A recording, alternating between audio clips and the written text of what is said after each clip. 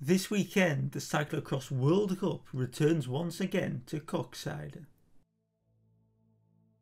Koksijde first appeared all the way back in 1996 It has been part of the competition every year since 2006.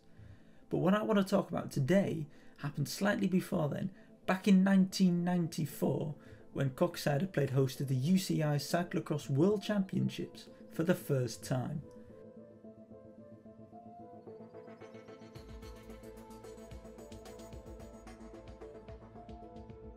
The World Championships were returning to Belgian soil for the first time since Lembeek in 1986. The Belgians were desperate for a home winner. A Belgian hadn't worn the rainbow jersey since Danny de Bie conquered it in 1989 in Pontchâteau in France. And in Koksijde, the Belgians had a slightly strange favourite to win the race. Paul Herygers had only turned professional in 1992, aged 29 at the time, but this season Herygers had been dominant winning the opening three out of a total of five rounds in the very first edition of the UCI World Cup. Herygers also won three rounds of the Super Prestige and three rounds of the GVA Trophy, nowadays the X2O Rubber Ducky tournament. Herygers' dominant season had allowed him to also take the overall in the GVA Trophy and the World Cup. But the Belgians had enough competition to race against as well. Super Prestige winner Daniele Pontoni was there, Czech champion Radomir Šimůnek Sr., defending world champion Dominique Arnould, and a certain Adrie van der Poel. As it turned out, however, his main rivals would be two youngsters. Dutchman Richard Groenendaal attacked early in the race, gapping everybody and looking like he may spoil the Belgian party. Belgian youngster Erwin Vervecken was the only rider able to put up much of a fight. He ended up in pretty much a chasse patate, alone in second. After Herygers had gone in too deep at the start of the race, he needed a while to recover. He took this time, but eventually he was able to come back and catch up to Vervecken. The two of them were able to spend time chasing together and eventually got the gap down ever so slightly. Eventually, though, Vervecken could not keep pace.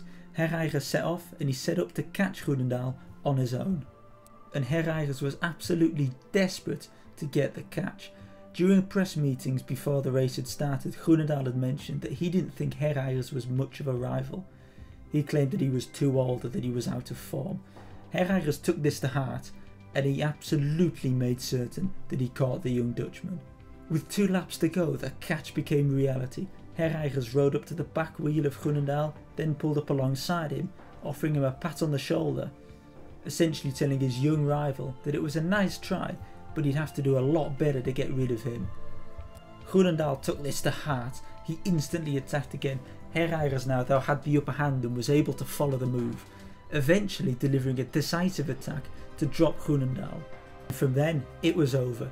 Herygers would be world champion. The man who was a workman not two years ago was now the world's best cyclocross racer.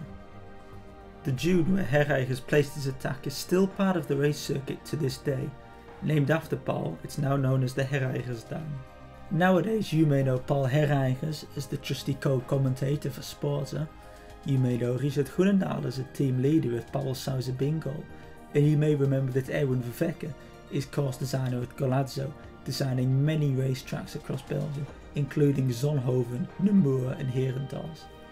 But for some, when you say the name Herygers or Groenendaal, their mind will always get cast back to Koksijde in 1994.